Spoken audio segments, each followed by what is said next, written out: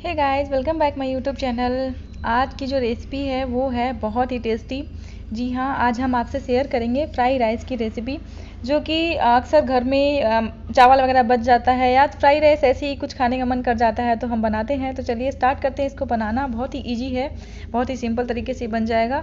तो यहाँ पे मैंने कुछ सब्ज़ियाँ कट करके रख ली है, जैसा कि आप देख रहे हो, आपके पास जो भी सब्ज़ियाँ अवेलेबल हो, आप यूज़ कर सकते हो। यहाँ देखिए, पत्ता गोभी, यहाँ शिमला मिर्च कट कर लिया है, और यहाँ पर लंबे साइज़ में ही प्याज कट कर लिया है।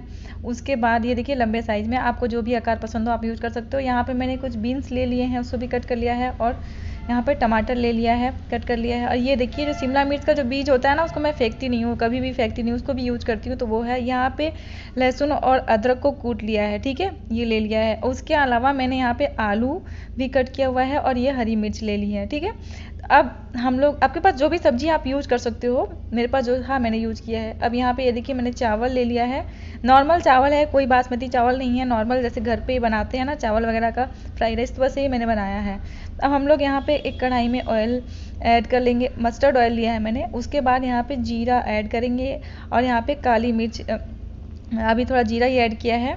सॉरी अब यहाँ पे काली मिर्च ले लेंगे। उस उसके बाद हम यहाँ पे जो लहसुन और अदरक का कूटा हुआ था ना पेस्ट वो ऐड कर लेंगे।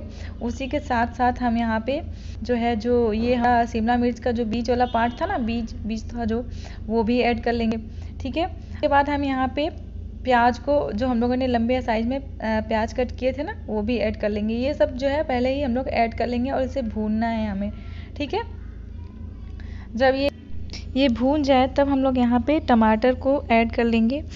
इसको भी हम लोग सॉरी मैं यहाँ मैंने ग्रीन चिली ऐड करना मैं भूल गई थी, इसलिए टमाटर के साथ साथ ग्रीन चिली भी उसको भी भूनेंगे। और जैसे ही टमाटर जाता है, वहाँ पे हम लोग नमक मसाले ऐड कर देते हैं। यहाँ मैंने नमक, हल्दी और ये गरम मसाला, ये तीन चीज़ ही मैंने सिर्फ़ यहाँ पे ऐड किया है।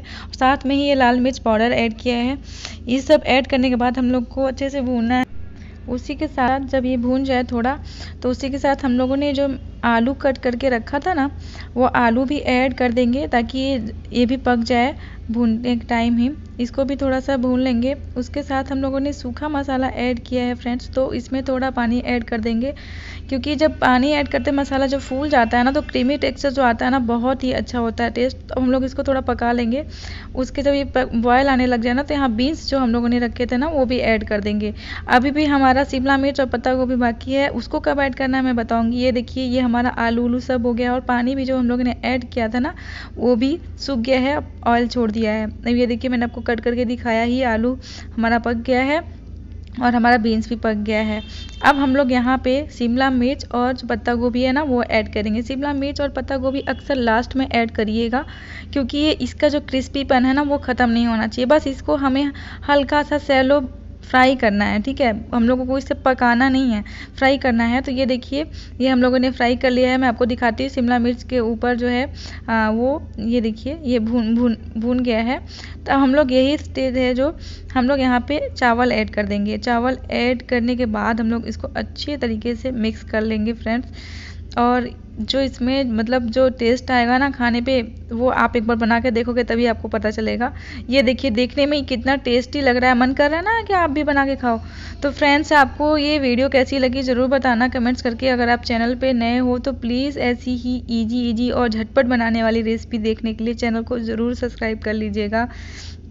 क्योंकि हमें जो है बहुत अच्छा लगता है जब आपको ये चैनल सब्सक्राइब करता है। तो ये इसी के साथ ये हमारा फ्राई राइस बनके रेडी हो गया है। मैं आपको दिखाती हूँ कि कितना ये टेस्टी बनके रेडी हुआ है। आपको शायद ऐसा समझ में नहीं आएगा। आप जब बना के देखोगे ना, तभी आपको समझ में आएगा। हम लोग इसे जो है अब प्लेटिंग कर लेते हैं। ये देखिए, मैं आपको कलछुल से उठा के दिखा रही हूँ कितना क्रिस्पी और कितना अच्छा बना हुआ है। अब हम लोग इसको प्लेटिंग कर लेते हैं। ये देखिए, ये हमारा बन के रेडी हो गया है। और आपको ये वीडियो कैसी लगी, ज़रूर बताना कमेंट्स करके। और चैनल को लाइक भी कर देना।